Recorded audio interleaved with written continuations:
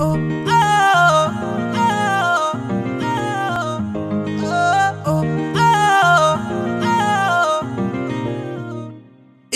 Heel ਦੇ ਨਾਲ ਮੈਂ ਕੱਟਿਆ ਏ ਇੱਕ ਸਾਲ ਵੇ। ਮੈਨੂੰ ਕਦੇ ਤਾਂ ਲੈ ਜਿਆ ਕਰ ਤੂੰ ਸ਼ਾਪਿੰਗ ਮਾਲ ਵੇ।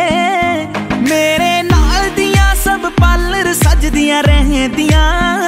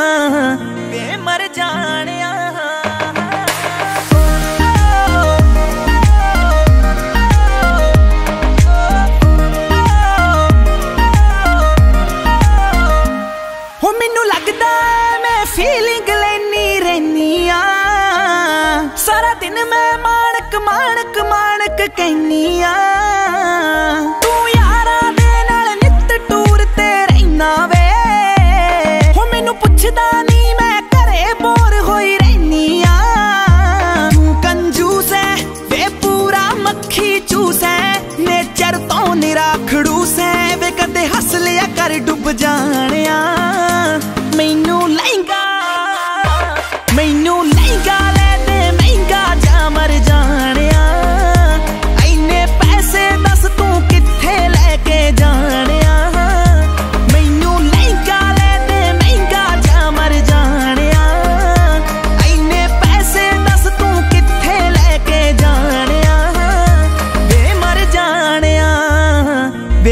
ਜਾਣਿਆ ਸ਼ਰਨੈਕਸਸ ਹਾਂਜੀ ਕਿਵੇਂ ਲੱਗਿਆ ਮੇਰਾ ਗਾਣਾ? ਲਾਈਕ ਤੇ ਕਮੈਂਟ ਕਰਕੇ ਜਰੂਰ ਦੱਸਿਓ ਤੇ ਮੇਰੇ ਨਵੇਂ-ਨਵੇਂ ਗਾਣੇ ਸੁਣਨ ਦੇ ਲਈ ਗੀਤ MP3 ਦਾ YouTube ਚੈਨਲ ਸਬਸਕ੍ਰਾਈਬ ਕਰੋ। Thank you